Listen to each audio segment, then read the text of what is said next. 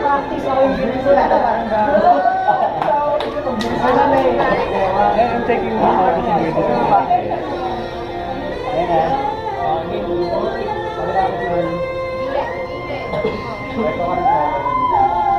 Pagka